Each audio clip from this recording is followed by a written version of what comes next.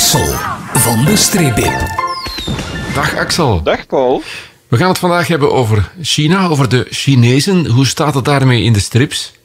Uh, er zijn heel veel strips over China. En we gaan uh, ja, ongeveer 100, 150 jaar Chinese geschiedenis bekijken in de strip. Mm -hmm. Dan gaan we nog een aantal jaar verder naar 1917, daar de strip Peking Oorlog in de Diplomatenwijk. En in 1917 um, woedt in Europa de Eerste Wereldoorlog. En in het hart van Peking is er een diplomatenwijk, dat is een stad in de stad. China is niet langer een keizerrijk, is een republiek geworden, maar ook hier is er nog steeds of nog altijd geen centraal gezag. Er zijn verschillende Chinese partijen die om de macht strijden. En tegelijkertijd heb je de Europese geallieerden, de Britten en de Fransen, die de bezittingen en de invloed van de zogenaamde centrale mogendheden, om die onder elkaar uh, te verdelen. En er is een klein land dat neutraal is in Wereldoorlog 1, namelijk uh, Nederland. En de Nederlandse gezant en de Nederlandse militaire bevelhebber van het garnizoen van Nederland, die worden aangezocht om die belangen uh, van die centrale mogendheden te verdedigen als het ware om als scheidsrechter op te treden in al die conflicten die er zich binnen uh, de Europese mogendheden in die diplomatenwijk uh, afspelen. Dan maken we nog een uh, sprong naar 1955. We zitten midden in de zogenaamde grote sprong voorwaarts. China, in China is Mao aan de macht.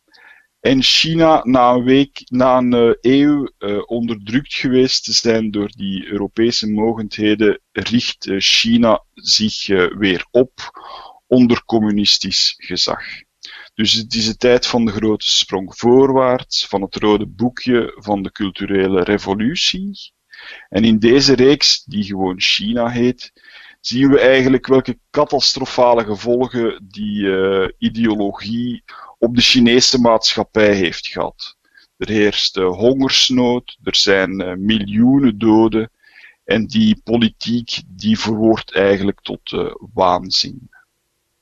En in Mao's Mussen zien we een, een detail van die waanzin. De grote roerganger Mao heeft beslist dat alle mussen moeten uitgeroeid worden omdat zij de oogst opeten. En dat is geen goede zaak natuurlijk. Dat is uh, geen goed idee. Er is in een klein dorp is er een, uh, de dorpsleraar en vogelliefhebber en zijn vrouw proberen die mussen letterlijk te verbergen.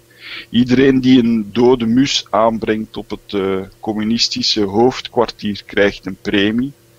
Maar die absurde maatregelen die vernielen heel het ecosysteem. En dat heeft ook uh, catastrofale gevolgen voor het leven van de gewone Chinees. En dat was de laatste strip van vandaag. Nu zat ik net te denken, corona is de baker, uh, China is de bakermat voor corona. Misschien gaan we binnenkort daar ook stripverhalen rond krijgen. Hè? ik ben er rotsvast van overtuigd dat over een paar jaar dat een onderwerp is voor boeken, films, stripverhalen enzovoort. Iedereen naar de stripweb in Meijsen, want daar zijn natuurlijk alle strips te vinden. Axel, bedankt voor de uitleg. Dit was Axel van de Stripweb. De Stripweb Meijsen vind je aan de Brusselse Steenweg 44.